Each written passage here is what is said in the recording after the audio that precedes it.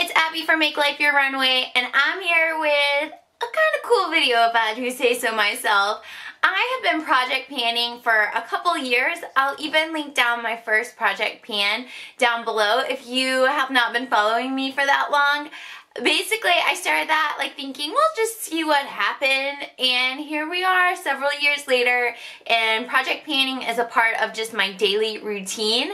Uh, when you pan products you get into like a committed relationship with them. So you kind of get to know what kind of products you enjoy, which ones you feel like punished by or for like it just feels like too much to keep using them.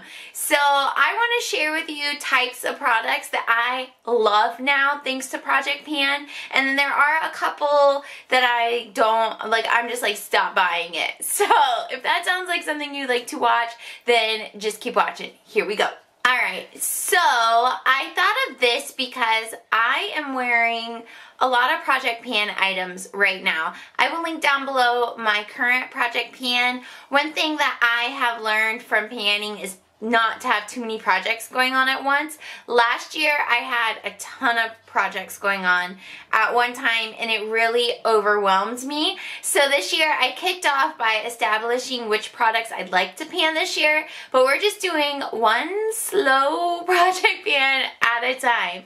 And I'm seeing so much progress and it's keeping me motivated and inspired. So it got me thinking about like, okay, I know there's products now that I don't really enjoy, and there's products that are now holy grails. So the one that kind of started this all was a uh, a facial spray. It's not really a setting spray. I don't have the original one anymore, but I've panned it probably six months ago. But it it's a spray from um, where was it from? TJ Maxx, and it was a coconut spray, and the brand was Pearlescent, and they have different scents, and I haven't been back to a TJ Maxx in a while, so I don't know if they still have it or not, but I loved that spray so much. Like, it was a pretty big bottle, um, and I just like, my skin just really absorbed it and it was really nice. So when I ran out of that, I realized I miss having a setting spray that I apply after my nightly moisturizer. So now I have these. Let's see if I can hold them all at one time. These are the Mario Bad Badescu and I have them in the sense, this one is their new lavender, newly released. I have their cucumber one and then I have their most popular or known is the rose. I would say these all perform exactly the same. You can find these at Target. They are cruelty-free, paraben-free. They're about $7.50. The rose water is um, the most repurchased. And I, yeah, they all perform the same. It's just really a matter of what scent you prefer. I love them all. So I just rotate through them. I just grab one. And after I do my skincare, I absolutely love these. And these particular brands, I'll keep repurchasing because they are so affordable and easy to get a hold of. So that was the first thing that really kick-started this. Another thing was I panned a little sample of the Tarte Maracuja oil. And I also panned a Josie Maran argan oil. I loved both of those so much and I didn't have one anymore. So I went ahead and repurchased, or not repurchased, but purchased this one. This one is Andalou Naturals A Thousand Roses uh, Moroccan Beauty Oil. If you've been following me for a while, you know Andalou Naturals is one of my favorite skincare lines. And I use their um, A Thousand Roses sensitive uh, facial lotion that has SPF, I think 15 in it. So I wanted to try something else from the line. And I wouldn't say these are dupes for the Tarte or the Josie Maran, but it is a really nice thick oil that's nice to apply at night. So I really like this and I basically with the setting sprays and that oil, I don't necessarily want to keep repurchasing the same, repurchasing the same brands, but I always want to have those on hand in my beauty rotation. And then I have one more skincare and then we'll move on to makeup. But this is kind of like a two for one. But one thing or two things that I use all the time now because of um, Project Pan. I'm going to have to stand up to show these to you because I can't hold them all at once.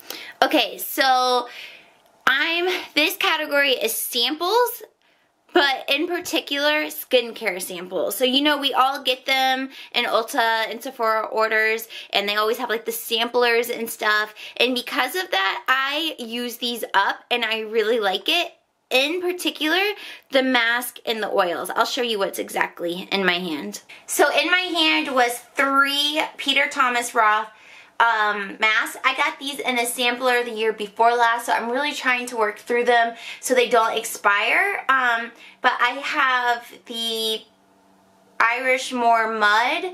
I have the 24K mask and I have the uh, cucumber gel mask. These are almost done. They're all uh, probably each halfway done, but I really, really enjoy throwing a mask on.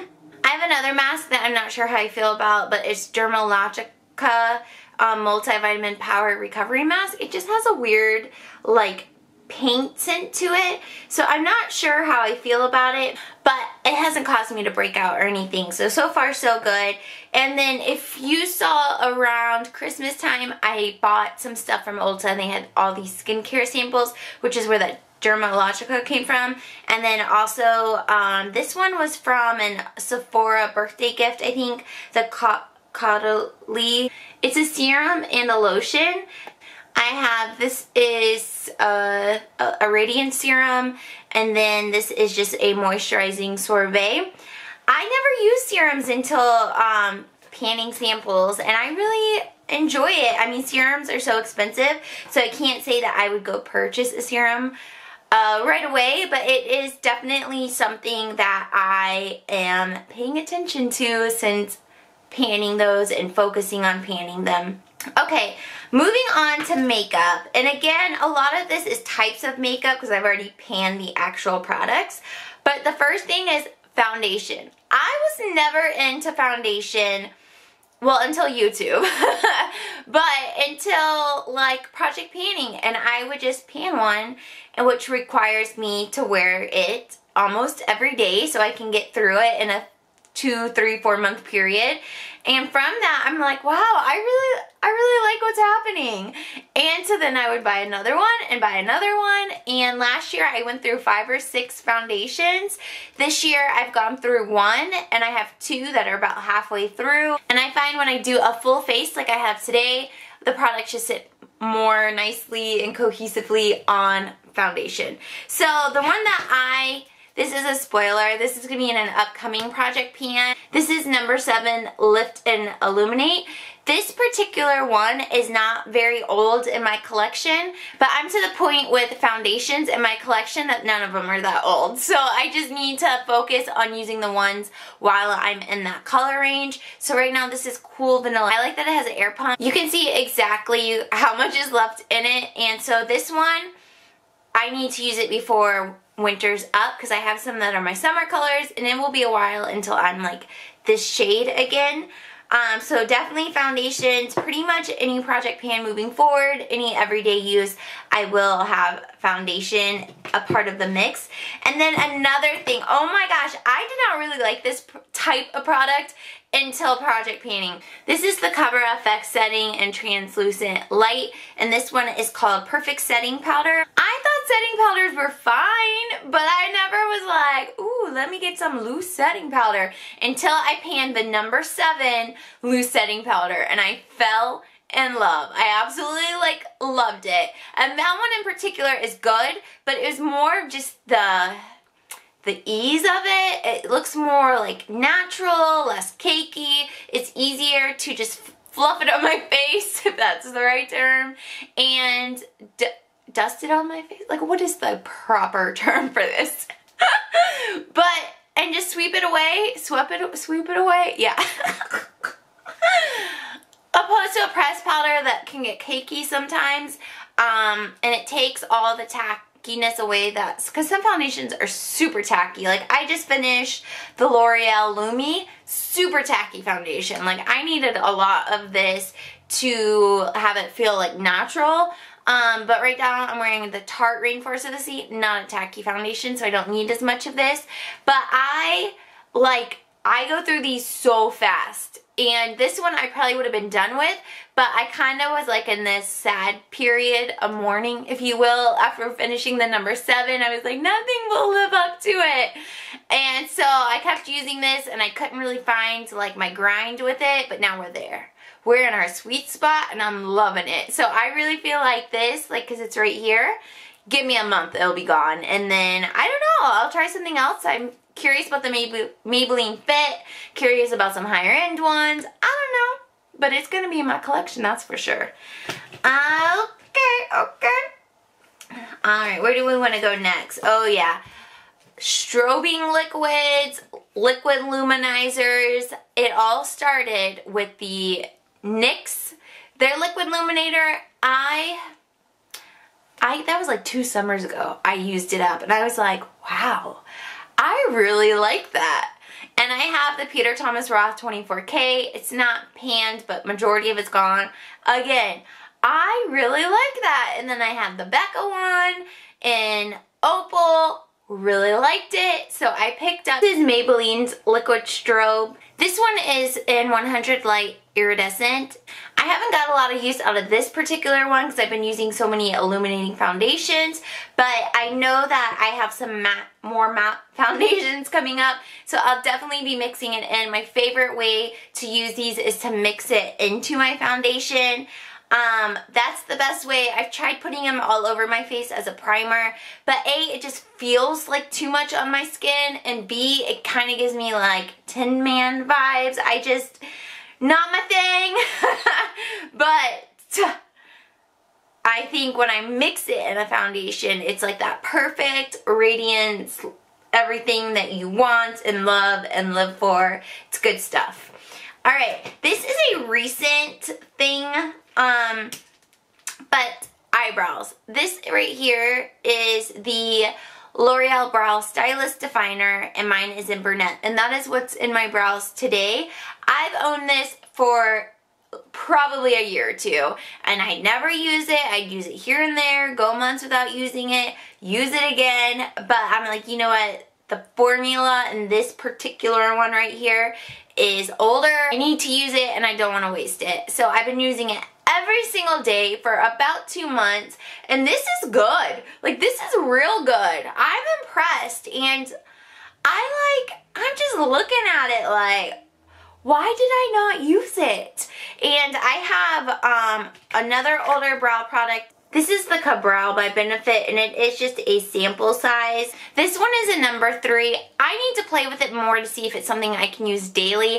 I will just go ahead and declutter it if it's not the right color. And then I have one from It Cosmetics in their universal color that came in a BoxyCharm.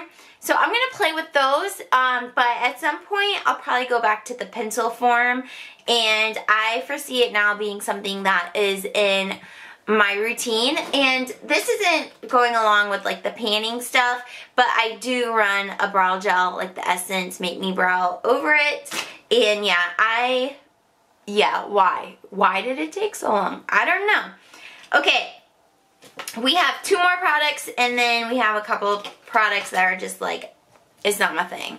The first one is lip gloss. I've panned so many lip glosses and I just love them.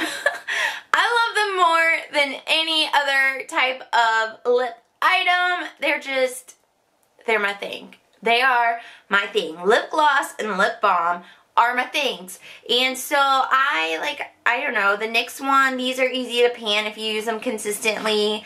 The Buxom ones are super easy to pan if you use them consistently. Have there been other ones? I've also have panned, um, like these L'Oreal Infallibles, also super easy to pan if you use them consistently. Have not been successful with the uh, the Maybelline ones, but um, yeah, I just lip gloss, lip gloss, lip gloss, lip gloss, and then for lip balm, you know I always use Jack Black, but lip gloss. Enough said actually two hair products. So prior, this is more so my rolling project pan that I was doing last year and I do plan on bringing that back. I had like a little like, let's take a break because I have nothing else to put in a rolling project pan and now I have all the stuff. So I'm ready to bring it back. But from that was hair care. Like I didn't do anything in my hair. I would wash it, let it air dry, throw some curls and hairspray in it. That's it. But I was, I'm still working through it. This is the Rustic Spray. Um, it's about $15.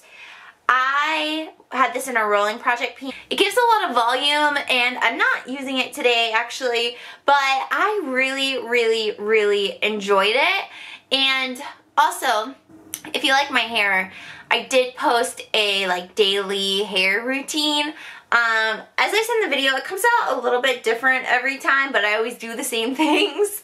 but, um, and I also talked about my it's all affordable products from Ulta. So I talked about the hair straightener that I got, which is a cheaper alternative to like some of the more expensive ones. But I got this product in a Influenster and um, it is a protein recharge. It's a leave-in conditioner, but it also is a heat protectant. I I panned the It's a 10 leave-in conditioner in a rolling project pan. I love leave-in conditioners and I just loved like how smooth and soft my hair felt. So when I got this one in Influenster, I was super excited. Um, and I like that it's a heat protectant. I used a different heat protectant in that video. It was, um, I can just show you. It was the Garnier Fructis. And um, they're totally different products, so they're not even comparable. But this, is this fabulous? No. I mean, like, it's it's L'Oreal, it's affordable, it smells good, doesn't gunk up, gunk up my hair, it's nice. Um, not saying run out and buy this particular one, but leave-in conditioners in general are so nice. And when I'm done with these two products, I really want to invest in the It's a 10 to have that again. That was really nice and this isn't on par with that one, but this is really nice too, if that makes sense. So yeah, those are the products that because of multiple different project pans, I love them. But I have just two types of products that I just like, girl stop, we're done. the first is lipsticks. Like, is this crazy? Lipsticks. I don't wear lipsticks. Like, I said it, I need to stop buying them. I do not wear lipsticks. About a year ago, I posted a video that says types of products I need to stop buying. And I will post that again. It was really popular. Amber F did the tag and then a lot of you came over and followed me from her. So I really appreciate Amber and I appreciate you guys following me over. And an update is probably in order but lipsticks I do not wear them. I have a lipstick declutter coming up on my channel because I'm to the point they just they're like getting under my skin. I'm like I'm not gonna wear you. You're wasting space. Like I feel like I see bacteria growing in them. Like we're done. We're breaking up. We're done. And I'm not going to say lipsticks always and forever because there are two shades that are older that I will repurchase. But overall, I need to stop buying lipsticks. I love lip gloss. I love lip balm. That's that. I like some liquid lips. Like that's that's that's who I am. So I just grabbed a couple just like, do you need to see a lipstick? And these formulas are good. So it's nothing against Milani or Maybelline. They have some of the best drugstore um, formulas and they're super affordable. Like I have so many um, like Maybelline ones and I have a couple Milani. I'll probably go hold on to the Milani for a little bit longer. And yeah, I just, I don't wear them. I, if I had a choice, I would just put on my lip balm and be done. And going along with that is lip liners. I, I have one in a project pan and you'll see my progress on that soon. Um, and I only own three lip liners and spoiler, I'm down to two. We had a little pause. We're back. Alright, so what I was saying about lip liners was I've been doing where I put it on and then put my lip balm on in the morning and yeah, it's just how I've been able to work through them because I don't know. it's a struggle for me. But I tried it with this color. This is Plum Plush Plum by Jordana. And oh my gosh, this this did not work. You need a natural color if you're gonna be lining your lips and putting a lip balm on because this color right here was way too much. It was like sliding everywhere. Like I was so scared. I was hiding my lips because I'm like, oh my gosh, it's like all over the place. So yeah, this one I'm not even gonna torture myself through. We're done.